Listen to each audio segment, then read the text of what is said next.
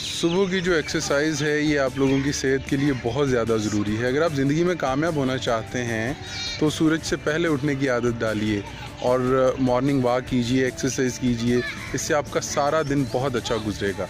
आपकी जो जितनी भी फ़िज़िकल नीड्स हैं आपकी बॉडी की, वो सारी इससे पूरी हो जाएँगी। कामयाबी के लिए तैयार हो जाइए, सुबह जल्दी उठिए और किसी गार्डन में आइए, किसी भी पार्क में आइए और एक्सरसाइज कीजिए। सुबह सुबह की जो ताज़ा हवा है, उसको महसूस कीजिए और फिर देखिए कि आपका दिन कितना एनर्जेटिक कितना खूबसूरत गुजरता है। Thank you very much